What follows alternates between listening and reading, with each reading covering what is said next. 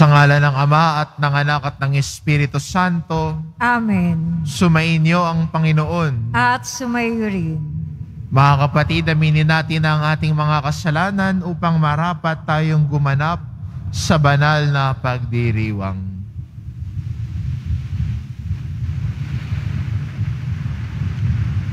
Inaamin ko Sa makapangyarihang Diyos at sa inyo mga kapatid, na lubha akong nagkasala sa isip, sa salita at sa gawa at sa aking pagkukulang. Kaya isinasamo ko sa mahal na Birheng Maria, sa lahat ng mga anghel at mga banal, at sa inyo mga kapatid, na ako'y ipanalangin sa Panginoong ating Diyos. Kaawaan tayo ng makapangyarihan Diyos, patawarin tayo sa ating mga kasalanan at patnubayan tayo sa buhay na walang hanggan. Amen. Panginoon, kaawaan mo kami. Panginoon, kaawaan mo kami. Kristo, kaawaan mo kami. Kristo, kaawaan mo kami. Panginoon, kaawaan mo kami. Panginoon, kaawaan mo kami. Manalangin tayo.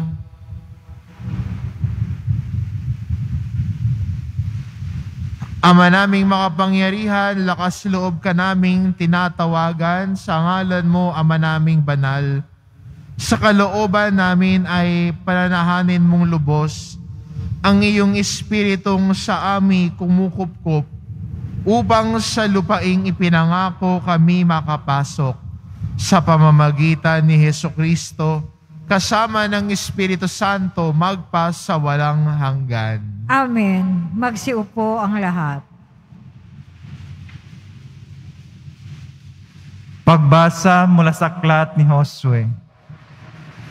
Noong mga araw na iyon, sinabi ng Panginoon kay Josue, Sa araw na ito'y padadakilaan kita sa paningin ng buong Israel. Sa ganito makikilala nilang ako'y sumasa iyo, tulad ng ginawa ko kay Moises. Sabihin mo sa mga saserdoteng Levita na magdadala ng kabanang tipan na magtuloy na sila sa ilog Hordan, ngunit hihinto pagtungtong ninyo sa tubig. At tinawag ni Josue ang mga tao, Halik kayo at pakinggan ninyo ang pinsasabi ng Panginoon, ang inyong Diyos. At sinabi niya sa mga tao, Dito ninyo malalaman na sumasa inyo ang Diyos na buhay. Pagdating nyo doon, lilipulin niya ang mga kananeo. Ang kabanantipan ng Panginoon, ang Panginoon ng sangkalupaan, ay mauunang itatawid ng ilog Hordan. Kapag ang mga saserdoteng may dala ng kabanantipan ay tumuntong sa tubig, titigil ang pag-agos ng ilog Hordan. Ang tubig ay matitipon sa isang lugar sa hulo. Sa pangunguna ng mga saserdoteng may dala ng kabanantipan, umalis ng kampamento ang bayang Israel upang tumawid sa ilog. Malaki ang tubig ng Hordan sa panahon ng tag-ani. Nang sumapit sa ilog Hordan, ang mga saserdoteng may dala ng kabanantipan, tumigil ang agos sa hulo, at ang tubig ay natitipon sa tapat ng bayan ng Adam, lunsod na nasa tabi ng Sartan. Samantala, ang agos na palabas sa dagat, dagat na patay sa Araba ay nagpatuloy hanggang sa natuyo ang ilog at nakatawid ang buong Israel na natili sa gitna ng natuyong ilog ang mga saserdoteng may dala ng kabanantipan samantalang tumatawid sa ibayo ang buong bayan. Tuyo ang lalakaran nila. Ang salita ng Diyos. Salamat sa Diyos. Alleluia. Alleluia. Ang bayang Israel sa bansang Ehipto'y doon inilabas. Nang ang lahing ito sa bansang dayuhan ay pawang lumikas. Magmula na noon, ang luping Huday naging dakong banal at yung Israel ginawa ng Diyos na sariling bayan. Alleluia. Ang dagat ng tambo nang ito'y makita ay tumakas na rin magkabilang panig ng ilog ng Hordan doon umimpil. Maging mga bundok katulad ng tupa ay pawang nanginig, pati mga burol nanginig na parang tupang maliliit. Alleluia. Ano ang nangyari at ikaw o dagat wala ng daluyan? Ikaw naman, Hordan, bakit ang tubig mo'y hindi na dumaloy? Kayo mga bundok, nanginginig kayong tupa ang kapara at ang mga borol natatakot na parang maliliit na tupa. Alleluia. Magsitayo ang lahat.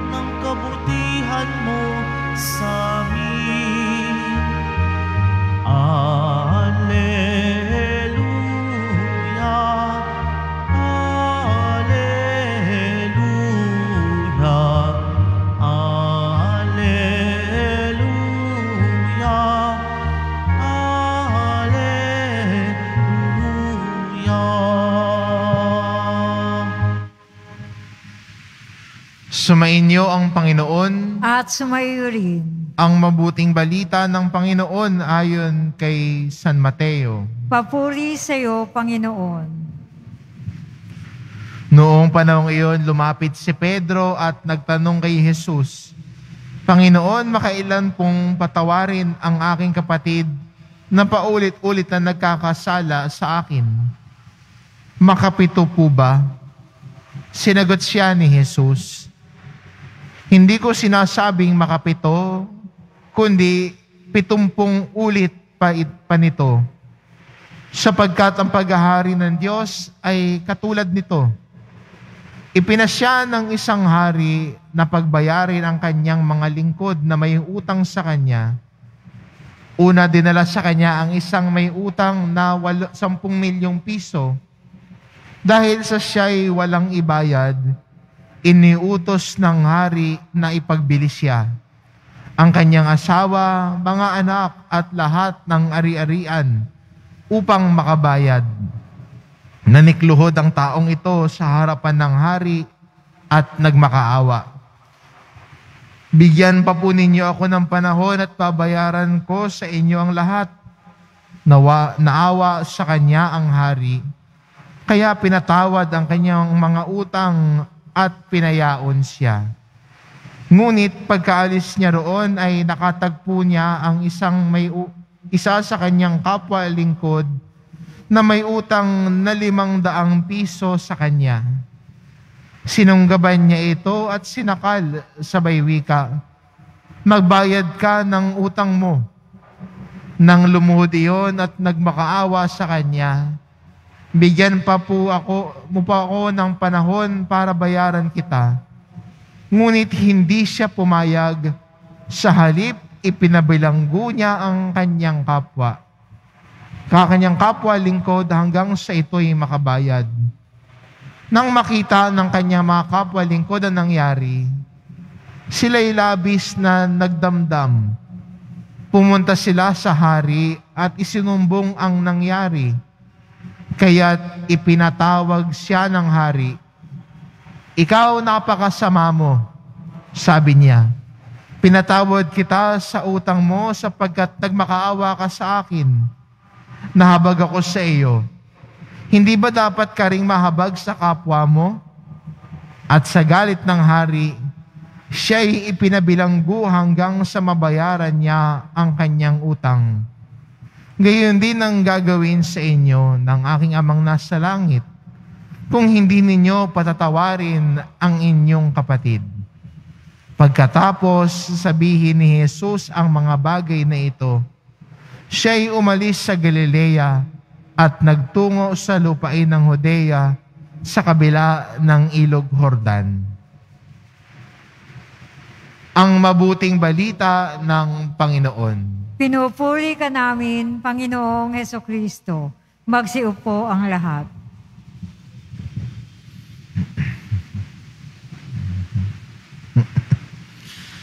Sa atin pong ebanghelyo ay magandang paalala ho sa atin no, bilang mga Kristiyano na huwag tayong mahiyang ibalik ang ating natanggap. Huwag nating ipa, mahiyang ipasa ang natanggap natin. Naalala ko po nung nag-aaral po ako at merong pinapanood ho sa amin sa klase. Ang title ho ng pangalan ng pelikula ay Pay It Forward. Ang mangyaya, ang nais ho ng, ng kwento, may isang bata ho may project sa social science. At sabi noon ay, mag-isip ka ng isang pwedeng gawin na sa tingin mo'y pwedeng magbago ng iyong kapaligiran. Kaya naisip ng bata yung salitang pay it forward. Pag may ginawa sa iyong kabutihan ng isang tao, hindi mo ibabalik dun sa taong yon, kundi yung kabutihang yon ay ipapasa mo sa ibang tao na nangangailangan.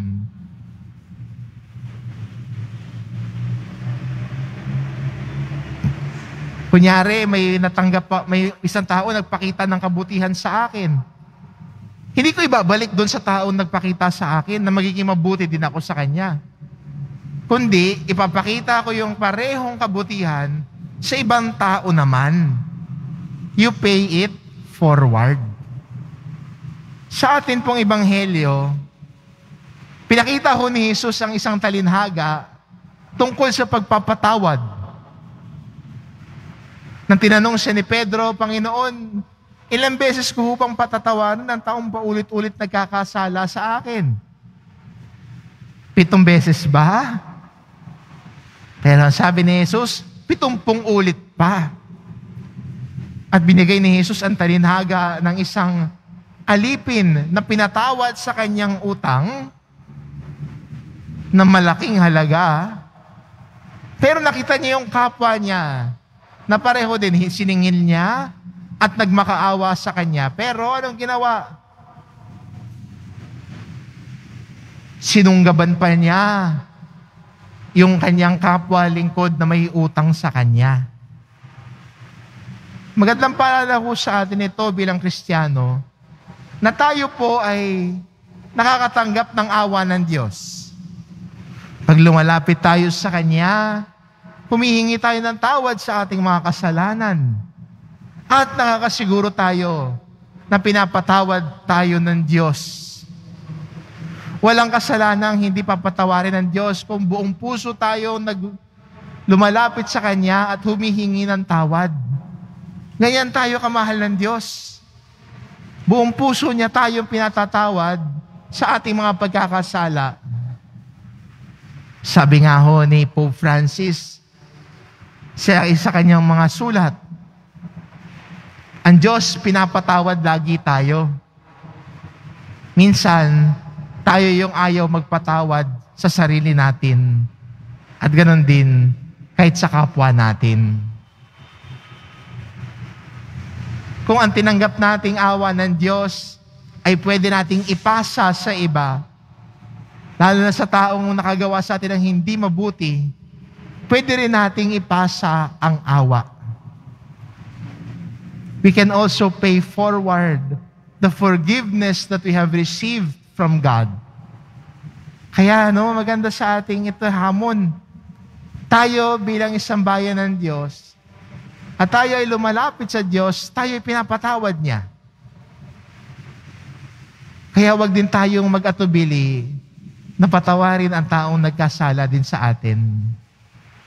Dahil pinatawo, unang-una tayong tumanggap ng awa at patawad mula sa Diyos. Let's pay forward the gift of forgiveness that we have received. Let's pay forward the gift of forgiveness that we have received from God Himself. Kaya, bilang isang Kristiyano, kung gusto mong lumaya sa iyong pamumuhay, huwag kang gumapos sa galit at puot sa kapwa mo. Bitawan ang galit at puot. Bitawan ang sama, ang pagkikimkim at pagtatanim ng sama ng loob. Bumibigat lang yan sa damdamin mo. Kung gusto mo maging malaya, pay forward forgiveness to that person. Kami naisip ang tao ngayon na parang hirap na hirap kang patawarin.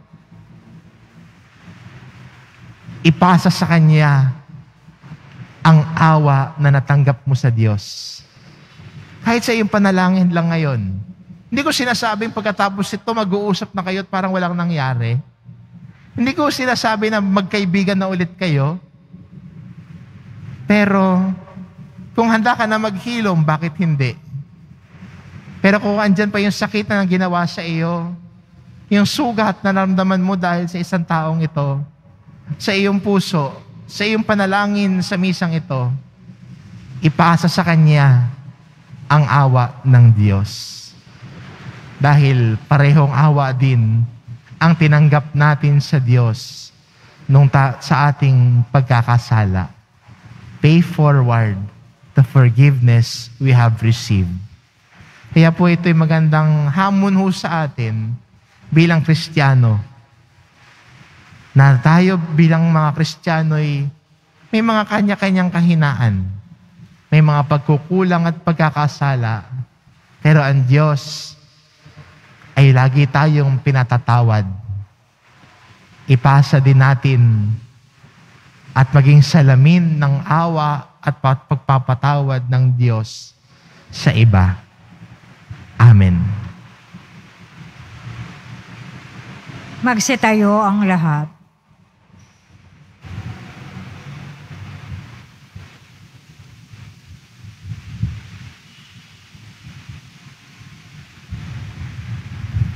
Minamahal ko mga kapatid, manalangin tayo sa Diyos upang makapagdulot ng pakikipagkasundo sa daigdig ang kanyang bayan na nakadama ng kanyang pagpapatawad. Ang ating itugon, mahabaging hari, padaluin mo ang iyong pagpapatawad sa amin. Mahabaging Hari, padaluyin mo ang iyong pagpapatawad sa amin. ang bayan ng Diyos na pinalaya ng dugo ni Kristo, naway hindi magkahiwa-hiwalay at mamuhay sila sa pagkakaunawaan at kapayapaan. Manalangin tayo. Mahabaging Hari, padaluyin mo ang iyong pagpapatawad sa amin. Ang mga may dinaramdam o sama ng loob, bunga ng kalupitan at pagkakamaling ginawa sa kanila, naway huwag magkimkim ng hinanakit sa kanilang puso, bagkus maging bukas sa kapayapaan ni Kristo. Manalangin tayo. Mahabaging Hari, padaluyin mo ang iyong pagpapatawad sa amin. ang mga nahihirapang magpatawad, naway mapagtanto at maunawaan ang mayamang habag ng Diyos sa bawat isa at matutong makapagpatawad mula sa puso. Manalangin tayo. Mahabaging Hari, padaluyin mo ang iyong pagpapatawad sa amin. Ang mga nakadarama ng malalim na sugat ng pisikal at espiritual na pagkakamali, naway makatagpo ng kagalingan sa pagpapatawad ni Kristo. Manalangin tayo. Mahabaging Hari, padaluyin mo ang iyong pagpapatawad sa amin. ang mga tapat na namayapa, naway patawarin sa kanilang mga kasalanan. Manalangin tayo. Mahabaging Hari, padaluyin mo ang iyong pagpapatawad sa amin. Ama naming nasa langit, masdan mo nang may habag ang aming mga pagkakamali. Iadya mo kami sa katigasan ng puso at tulungan mo kaming maging handang makapagpatawad sa mga tinamu naming mga pasakit upang mabuklod na muli ang pagkakahiwa-hiwalay. Hinihiling namin ito sa pamamagitan ni Kristong aming Panginoon. Amen. Magsiupo ang lahat.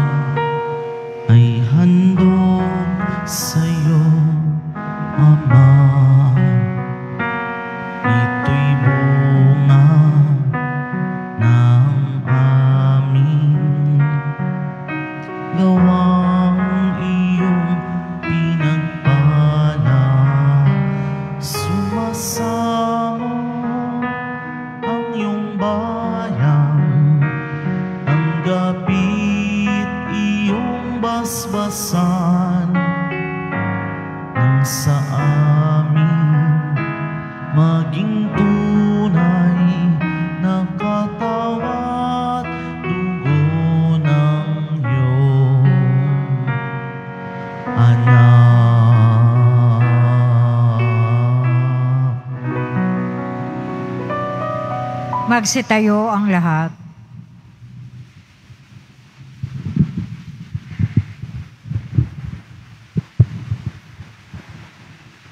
Manalangin kayo mga kapatid, upang ang paghahain natin ay kalugdan ng Diyos amang makapangyarihan. Tanggapin nawa ng Panginoon itong pag-aahin sa iyong mga kamay, sa kapurihan niya at karangalan, sa ating kapakinabangan at sa buong sambayanan niyang banal. Ama naming lumika, kalugdan mo ang mga alay ng iyong sambayanan, ang ipinagmamagandang loob mong ibigay sa amin, upang mayain ay siya nawang gumanap ng iyong ginagawa, upang kami tubusin sa pamamagitan ni Yesu Kristo, kasama ng Espiritu Santo magpasawalang hanggan. Amen. Sumainyo ang Panginoon. At sumayo rin, Itaas sa Diyos ang inyong puso at diwa. itinaas na namin sa Panginoon. Pasalamatan natin ang Panginoong ating Diyos. Marapat na siya ay pasalamatan. Ama naming mga pangyarihan, tunay ngang marapat na ikaw ay aming pasalamatan. Pinagbibigyan mong ito'y aming maihayag kahit na ito'y walang anumang maidaragdag. Sa kadakilaang sa iyo ay likas. Sa pagpupuri nami ang nakikinabang, ay kami ring iyong pinakikiharapan sa pamamagitan ng iyong anak na minamahal. Kaya kaisa ng mga anghel na nagsisiawit ng papuri sa iyo, nang walang humpay sa kalangitan, kami nagbubunyi sa iyong kadakilaan. Santo, Santo, Santo, Panginoon Diyos ng mga hukbo, napupuno ang langit at lupa ng kadakilaan mo, o sana sa kaitaasan. Pinagpala ang naparirito sa ngalan ng Panginoon, o sana sa kaitaasan, magsiluhod ang lahat. Ama naming banal, ikaw ang bukal ng tanang kabanalan, kaya't sa pamamagitan ng iyong Espiritu gawin mong banal ang kaloob na ito, upang para sa amin maging katawan at dugo ng aming Panginoong Heso Kristo.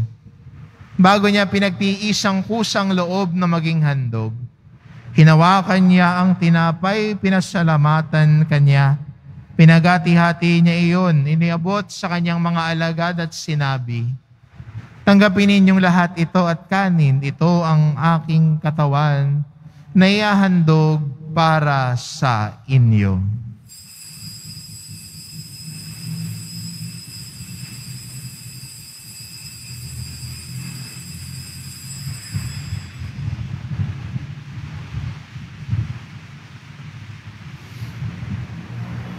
Kaya hindi naman na matapos ang hapunan, hinawakan niya ang kalis. Muli kanyang pinasalamatan. Iniabot niya ang kalis sa kanyang mga alagad at sinabi, Tanggapin ninyong lahat ito at inumin ito ang kalis ng aking dugo. ng bago at walang hanggang tipan. Ang aking dugo na ibubuhos para sa inyo at para sa lahat sa ikapagpapatawad ng mga kasalanan. Gawin ninyo ito sa pag-alala sa akin.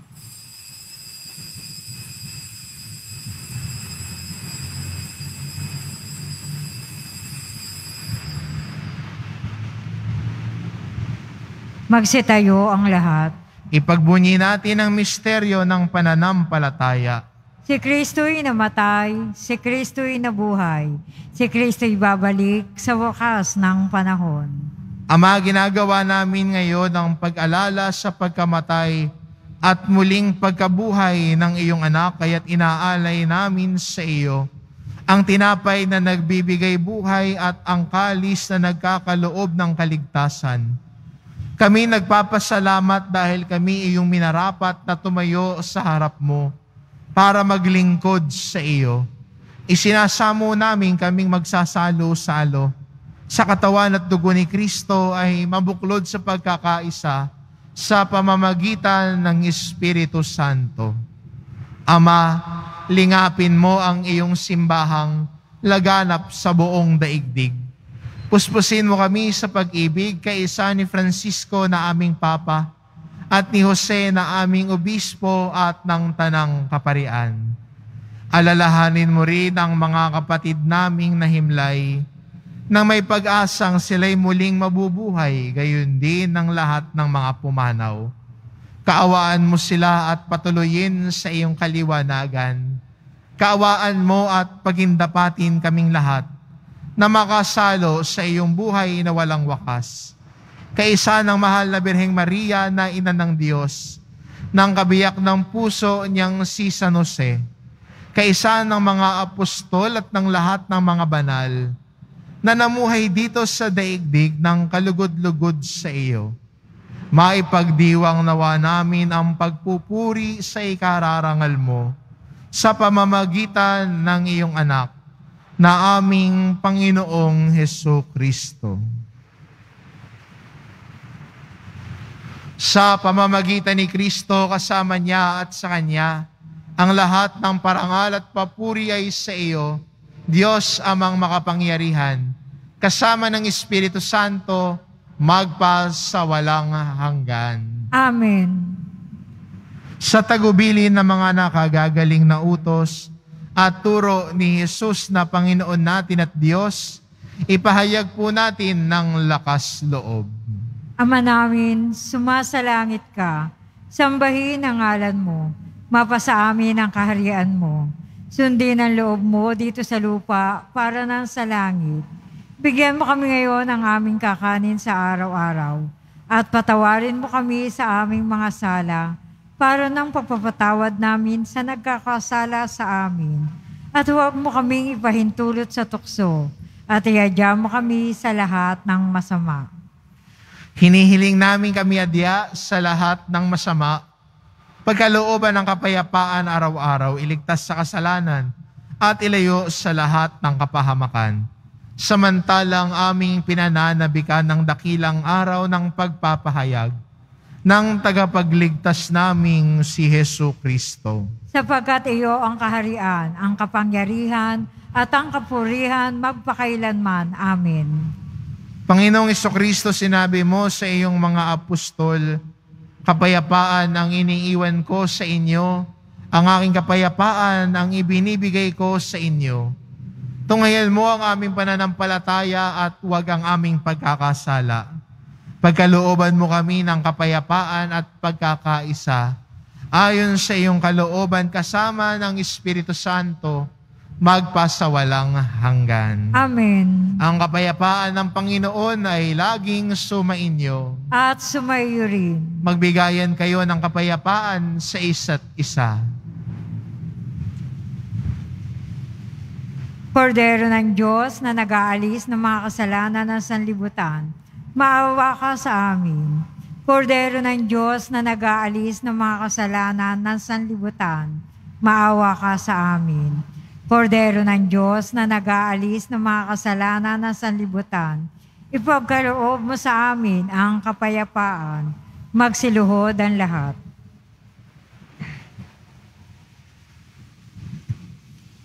Ito ang kordero ng Diyos. Ito nag-aalis ng kasalanan ng sanlibutan. Mapalad ang mga inaanyayahan sa kanyang piging. Panginoon, hindi ako karapat dapat na magpatuloy sa iyo. Ngunit sa isang salita mo lamang ay gagaling na ako.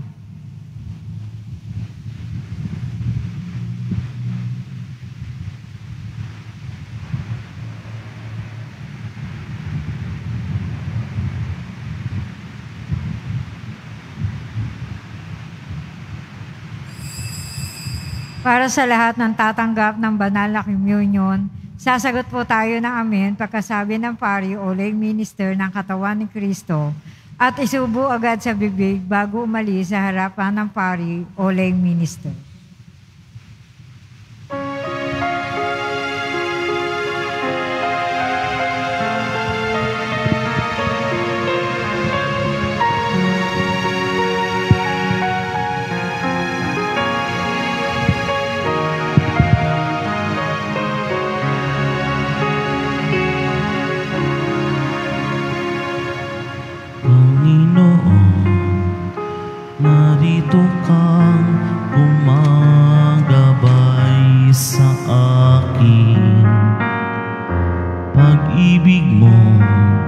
Wagas ang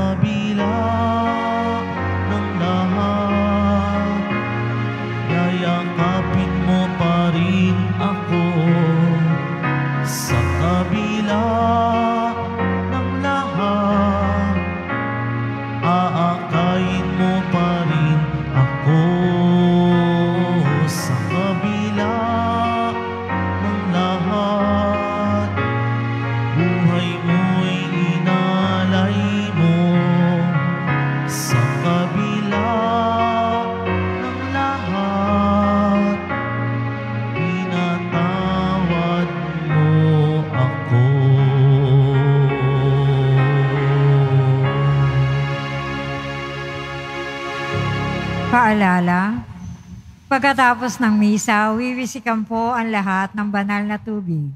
Pinakikiusapan ang lahat na manatili lamang muna sa inyong mga lugar.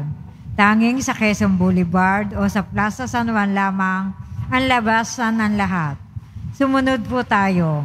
Maraming salamat po sa inyong pagdalaw at pagsisimba sa Basilica Menor at Pambansang Dambana ni Jesus Nazareno. Magsitayo ang lahat. Manalangin tayo. Ama naming mapagmahal ang pakikinabang namin sa piging na banal ay magdulot nawa sa amin ng kaligtasan at magtanghal sa amin sa luningning ng iyong katapatan sa pamamagitan ni Heso Kristo kasama ng Espiritu Santo magpa sa walang hanggan. Amen. Sumainyo ang Panginoon. At sumayo rin. Mahal na pong Jesus Nazareno, inihayag mo sa pamamagitan ng krus ang walang maliw na pag-ibig ng Diyos sa sangkatauhan. Pakinggan mo ang kahilingan ng iyong angka na nagsusumamo sa iyo.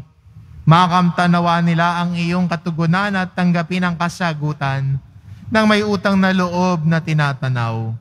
Basbasan din po ninyo ang mga may daladala nilang imahin at dasalan sa pamamagitan ng bendisyon na ito naway maalala nila ang mga pangako nila noon sa binyag na ikaw ang kanilang iibigin at pagdilingkuran bilang Panginoon magpasawalang hanggan. Amen.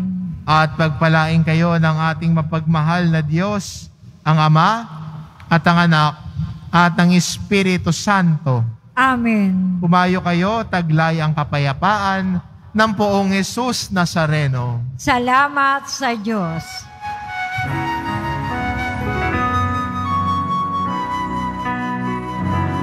Nuestro Padre Jesús Nazareno, sinasamba ka namin.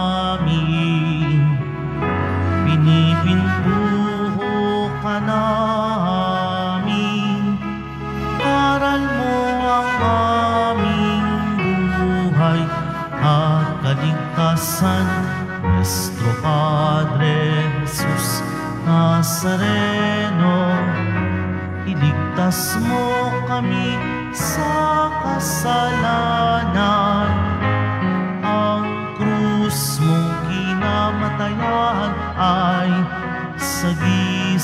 Ng aming kaligtasan. Nuestro Padre Jesus Nazareno,